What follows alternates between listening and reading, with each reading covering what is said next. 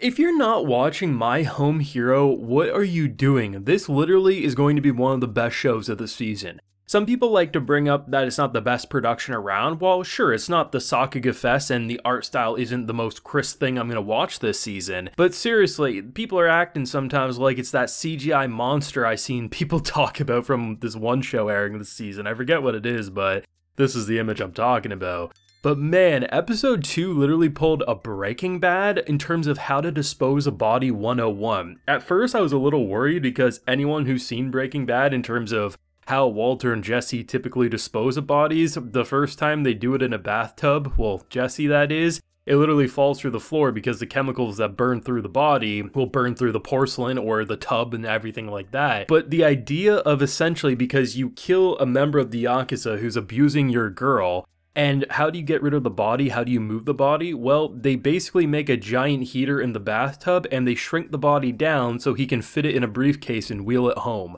That is one of the most disturbing ideas I think a normal businessman could come up with. And I know a lot of people are like, man, that mom is sus as hell because she didn't even flinch at the dad killing someone. I'm not saying it's impossible that it's potential she might have killed people in the past, but I really think by the end of this episode, it just really comes down to parents who would do whatever it takes to protect their kids. I literally had people in the comment section being like, as a dad myself, yeah, I would absolutely kill someone for my daughter if they were abusing her. And it's like, I completely get it. I mean, who would let a piece of garbage like that continue, especially given that he literally has killed and hurt people in relationships before, and he was literally on the phone admitting that he was going to do so again. I think the idea of seeing the mother when she asked the dad about, like, have you killed before? And he's like, well, of course not, right? You know, it's a defensive reaction because, you know, most people don't do that. But you see her shaking. You can see her visibly frightened, but on her face, she feels composed, as if, you know what, this is just normal. We're just disposing of a murderous boyfriend. It's completely fine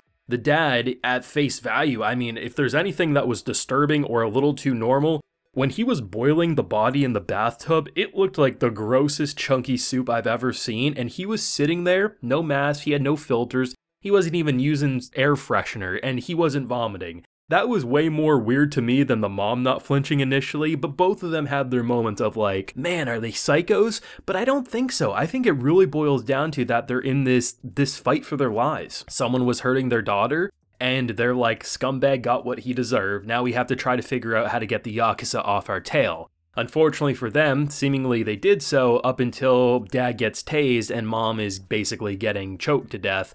I imagine both of which aren't actually going to die in these moments, but more so they're going to interrogate because they know something's up, but they have no proof to say so. It's a it's a show, man, and I am loving it. Full live reaction is available on my Patreon if you're interested in seeing my full uncut thoughts. There's points, I'm not gonna lie, where I'm so invested in the show, I like zone out and I'm just like focused in, but it is such a thought provoking show. It's so fun to discuss. And while, yes, I don't think this is the most beautiful anime of the season, I also just don't find it ugly like so many people are saying. To me, it really does feel like an earlier 2000s anime that honestly got an HD re release on Blu ray. That's the best way to sum it up. I think, given that it's a lot different of a narrative and the fact that the characters we're following are 40s, 50s, give or take. I'm not sure exactly their age, but they're older adults. And yes, we have like the 18 year old female who kind of just thinks they're gardening with their parents. But I like the fact that everything about this show, from aesthetic to setting to premise and characters, I just I don't find myself comparing it to anime. I had a lot of people mention I think there were some Indian films, some K dramas and stuff. People are saying, oh, this kind of reminds me of so and so, and I might check them out just because I love the idea of my home hero. So more shows in a similar coat of paint, I'm down to watch. But ultimately, it doesn't feel like your traditional anime. And maybe if it did have a more popping art style and more Sakuga moments,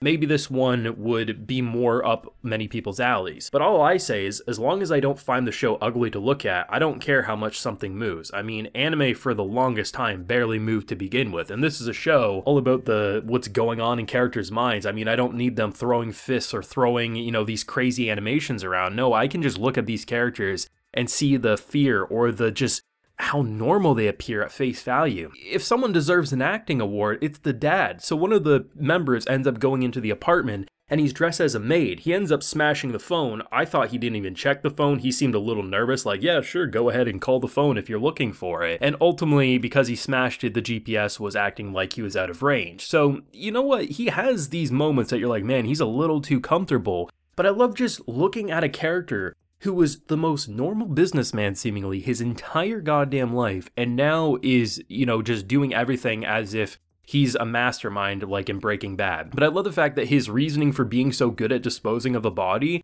is that mystery novels have been around for a hundred years. Like, I've read enough to have an idea, and I really like that moment because how many people can honestly say with a straight face, if they somehow got into a situation where they killed someone, they would at the very least bring up Breaking Bad and say, huh, that might actually be my way out.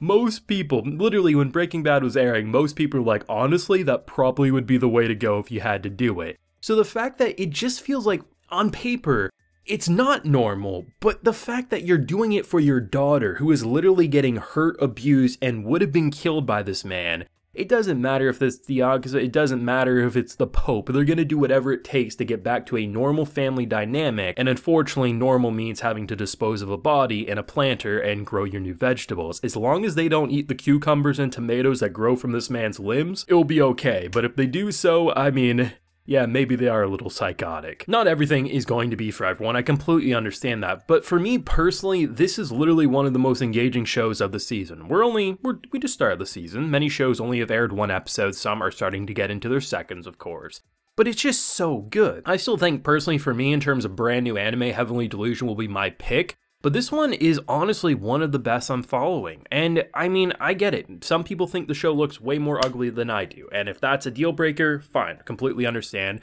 At that point, I just say at least go read the manga because clearly the show slaps and the story is engaging. But I really like how normal a lot of it feels. Like it's almost like not trying to be explosive visually or the VA for the dad, like I mentioned in my first impressions, like just he doesn't feel like your traditional character that you would root for in a show like this. That's what helps keep him normal. He's clever in the way that he sets little booby traps to figure things out, like the briefcase he put into his trunk to see if they would follow him. He had a little piece sticking out, so if they went into his trunk when he was gathering gardening supplies, he would know. The idea that the mom notices like something's moved as she's vacuuming, it's not like because they were like looking over the place head to toe, but more so like she was vacuuming and she noticed something looked damaged, and lo and behold, they have listening devices. Rather than just destroying the listening devices, they made up a pretty clever script to get out of the situation, almost like revealing you know something's up, but making yourself seem honestly pretty innocent. Didn't go quite according to plan, but hey, you know what? All things considered, for a couple of seemingly normal businessman housewife